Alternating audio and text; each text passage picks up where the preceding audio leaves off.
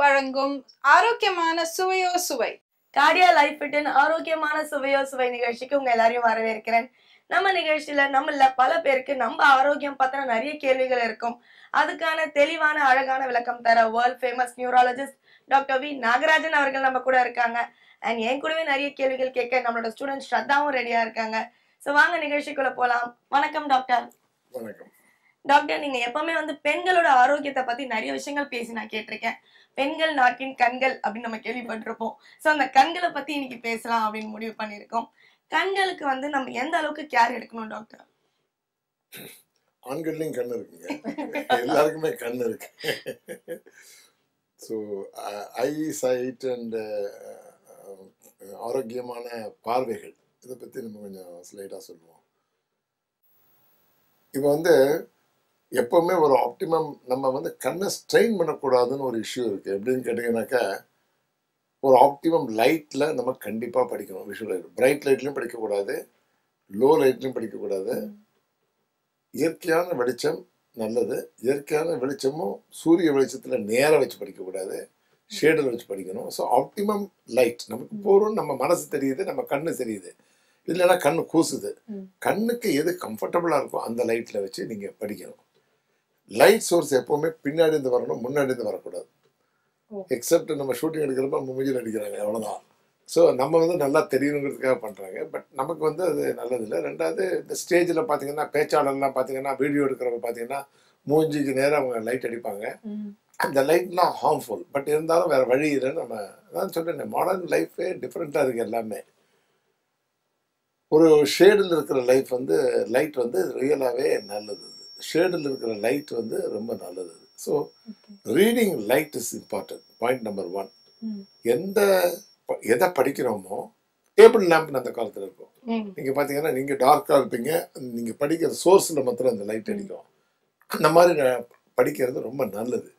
கண்ணுக்கு ரொம்ப ஸ்ட்ரெயின் இல்லாமல் படிக்க வேண்டியது. ரெண்டாவது நீங்கள் ரொம்ப குறுகி குறுகி சின்ன சின்ன லைனை படிக்கிறத அவாய்ட் பண்ணணும்.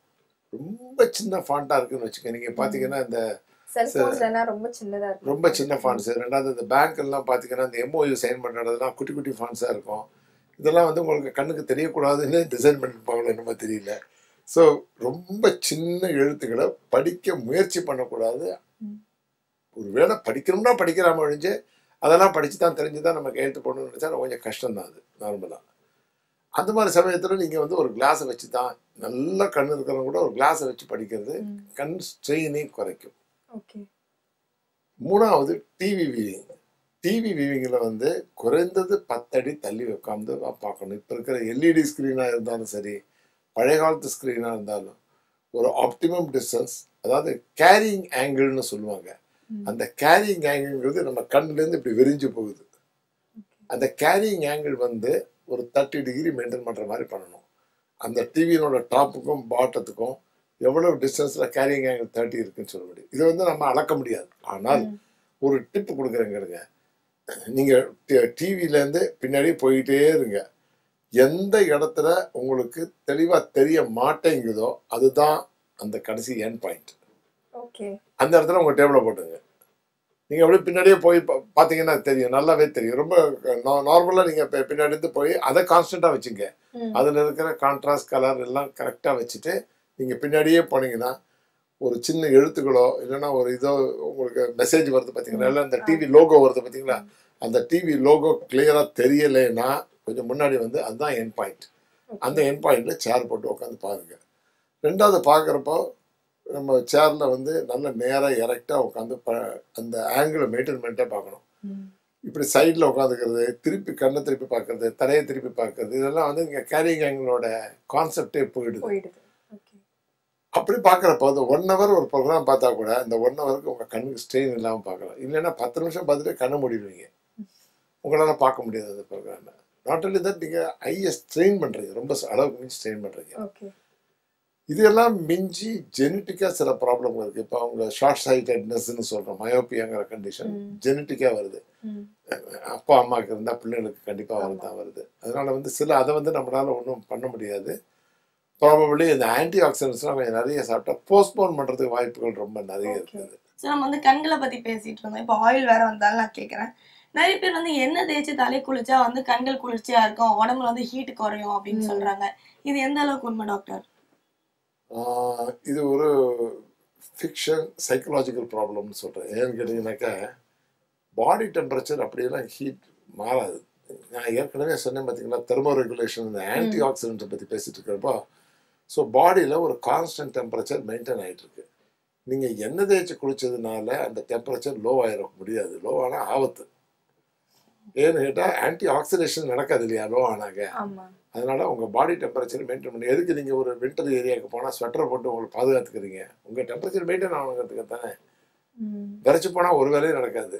அதனால வந்து உங்க டெம்பரேச்சர் லோ ஆகக்கூடாது நம்பர் ஒன் எண்ணெய் தேய்ச்சி குளிக்கிறதுனால சில ஸ்கின் பெனிஃபிட்ஸ் இருக்கு. ஐ அக்ரி ஆனா இந்த ஹீட் குறையுதுங்கிறது ஒரு என்ன சொல்லலாம் ஒரு தவறான எண்ணம். அந்த தவறான எண்ணத்துல நம்ம குளிர்ச்சி குளிர்ச்சி நினைச்சு நம்ம பண்ணுவோம். சின்ன குழந்தைங்களை பார்த்தீங்கன்னாக்கா எண்ணெய் கட்டுங்குவாங்க அந்த ஒரு கண்ணுல வந்து எண்ணெயை ஊற்றி அப்படியே கட்டி அந்த குழந்தை முழிக்க முடியாம தைக்கி விடும். அது ரொம்ப நல்லதுமாங்க அது மாதிரி ஒரு கண்ணுக்கு கெடுதலான விஷயமே கிடையாது. இரிட்டேஷன் நிறைய ஆயில் வந்து இரிட்டேஷன். அந்த காலத்துல குழந்தைக்கு எண்ணெய் கட்டி விடுற ஆயில் வந்து ரொம்ப இரிட்டேஷனா இருக்கும். விளக்கெண்ணையே ஒரு இரிட்டன்ட் ஆயில் ஓகே அது வந்து ஒரு சர்ஃபேஸில் பட்டுன்னா ரொம்பவும் எதுக்காக டயரியா வருது உங்களுக்கு? எனக்கு விளக்கடை சாப்பிட்டாக்க இரிட்டேஷன் இரிட்டேஷனால குடல் வந்து இரிட்டேட் ஆனதுனால டயரியா வருது. ஸோ இந்த ஆயில் கட்டுறது ஆயில் தேய்ச்சி குளிக்கிறது டிஃப்ரெண்ட் பெனிஃபிட் இருக்கலாம். ஃபார் எக்ஸாம்பிள் சில பர்டிகுலர் ஆயிலை வச்சு நீங்கள் தேய்ச்சி குளிச்சிங்கனாக்க உங்கள் ஸ்கின்ல இருக்கிற dust pores oil soluble dust இதெல்லாம் clear ஆகி கொஞ்சம் தோல் வந்து மூச்சு விடும். ஐ அக்ரி நான் சயின்டிஃபிக்காக பேசுகிறேன் அவங்க அனுபவபூர்வமாக பண்ணியிருக்காங்க தலைக்கு குளிச்ச உடனே இம்மிடியேட்டாக என்ன தடவாத. ஜலதோஷம் பிடிச்சிக்கும்பாங்க. வேற மாதிரி. சொல்லுவாங்க. hair ரொம்ப தப்புன்னு அது ஆக்சுவலாக வந்து ஹேர் ஃபால் தான் ஜாஸ்தி ஆகும். Okay okay doctor so oil பத்தின நிறைய விஷயங்கள் இன்னைக்கு நம்ம பேசியிருக்கோம் நம்புறேன். அதுவும் குறிப்பா இந்த பொருள் சாப்பிட்டா ஹீட் ஆகும் இந்த பொருள் சாப்பிட்டா உடம்பு குளிர்ச்சி ஆகும்னு சொல்லி நிறைய ஏமாத்தி இருக்காங்கன்னு நினைக்கிறேன் நிறைய பேர் எங்களை. இனிமே நாங்க தெளிவா கிளியரா இருப்போம். ஸோ வழக்கம் போல டிப்ஸோட செக்மெண்ட் வந்தாச்சு டாக்டர் நம்ம கடந்த எபிசோட்லயே பாத்தீங்கன்னா வந்து பேக் பெயின் பத்தி பேசியிருந்தோம். ஸோ அதை பத்தி கிளியரா அடுத்த எபிசோட்ல சொல்றேன்னு சொல்லி நான் ஞாபகம் வச்சு கேட்டேன் சொல்லுங்க டாக்டர் இப்போ வந்து நம்ம பாஸ்டர் மெயின்டெனன்ஸ்னு ஒன்று இருக்குது எப்படின்னு கேட்டால் எப்போவுமே வந்து ஒரு எரெக்டான பாஸ்டரில் உட்காரணும். கூனி குறுக்கி உட்கார்றது அப்புறம் கூனை முதுகு போட்டு உட்கார்றது சைடில் உட்கார்றது அந்த மாதிரிலாம் உள்ள பாஸ்டர்ஸை நம்ம அவாய்ட் பண்ணணும். ஒரு வெயிட்டை தூக்கணும்னு வச்சுங்க மோர் தென் ஃபைவ் கிலோஸாக இருந்துச்சுனாக்க நம்ம முழங்கால மடக்கி அந்த வெயிட்டை தூக்கணும். நார்மலாக வந்து ஒரு சைடாக குனிஞ்சு அந்த வெயிட்டை தூக்கிட்டு போயிட்டே இருப்போம். அப்படின்னா மு- முதுகெலும்பில் இருக்கிற ஒரு எலும்புக்கு இன்னொரு எலும்புக்கு இடையில ஒரு பொருள் இருக்கு டிஸ்க்னு சொல்லுவாங்க.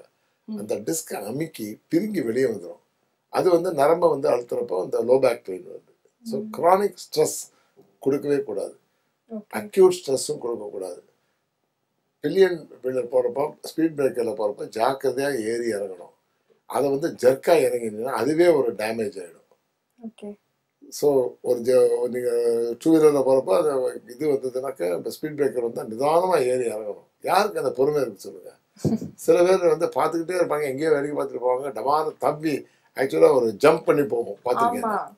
ஸோ அதெல்லாம் அந்த ஒவ்வொரு ட்ராமான்னு சொல்லுவோம். ஒவ்வொரு இன்ஜுரியும் கொஞ்சம் கொஞ்சமாக பேக் பெயினை டேமேஜ் பண்ணிட்டு இருக்கு. இதை தவிர மெனுபாசல் டயத்தில் ஹார்மோனல் சேஞ்சஸில் அந்த முதுகு பெல்விஸ் அப்புறம் அந்த முதுகெலும்பில் இருக்க தசை நார்கள்லாம் அதனோட வலுவிழக்குது அதனால வந்து அதை கட்டி காக்கிற ஒரு பொறுப்பை போய் லூஸ் ஆகி அது லூஸ் ஆன இடத்துல நரம்புகள்லாம் ஸ்டிமுலேட் ஆகி அந்த வலி வருது. ஸோ இதெல்லாம் அவாய்ட் பண்ணணும்னாக்க எனஃப் ஆன்டி ஆக்சிடென்ட் சாப்பிடணும். ம். எனஃப் வைட்டமின் ஏ சாப்பிடணும். எனஃப் இ சாப்பிடணும். ம். புரோட்டீன் சாப்பிடணும். குட் ஃபேட்டி ஆசிட்ஸ் உள்ள ஆயிலை சாப்பிடணும். அதே சமயம் ஒரு adequate minimum exercise per day பண்ணிகிட்டே வரணும். ஏன்னா எக்ஸசைஸ் மாதிரி பெஸ்ட் பெனிஃபிட்டே கிடையாது. ஹெவி எக்ஸசைஸ் பண்ணக்கூடாது. ஜிம்மில் போய் பண்ணுறதை நான் ஐ டோன்ட் அக்ரி நார்மலாக டான்சிங் லேடிஸாக இருந்தால் dancing is the best exercise கதவை மூடிட்டு நீங்கள் எப்படி அசிங்கமாக வேணாலும் அடிக்கிங்க ஆனால் எல்லா பார்ட்டும் உங்களுக்கு இயங்குறது டான்சிங் தான். ஒரு பத்து நிமிஷம் டான்ஸ் பண்ணுங்க. எப்படி வேணாலும் ஒரு மியூசிக்கை போட்டு கண்டுபிடி டான்ஸ் பண்ணுங்க. உங்களுக்கு லோ பேக் பெயினே வராது. ஓகே ஓகே ஸோ பேசிக்கா ஆக்டிவா இருக்கணும் இல்லையா? ஆக்டிவாக இருக்கணும். மசில்ஸ் ஆக்டிவாக பண்ணணும். ஓகே டாக்டர் ஸோ வந்து லோவர் பேக் பெயின் வந்து எப்படி கண்ட்ரோல் பண்றது? அண்ட் எப்படி அதுல இருந்து நம்ம வந்து வெளிவரதுன்றது வந்து ரொம்ப அழகா சொன்னீங்க. இன்னைக்கு கண்டிப்பா எல்லாரும் பயனடைஞ்சிருப்பாங்கன்னு நம்புறேன். ஸோ வியூவர்ஸ் இன்னைக்கு இந்த எபிசோடு உங்களுக்கு ரொம்ப பிடிச்சிருக்கும் நம்புறேன். கண்டிப்பா நீங்க பெனிஃபிட் ஆயிருப்பீங்கன்ற நம்பிக்கையோட கிளம்புறேன்.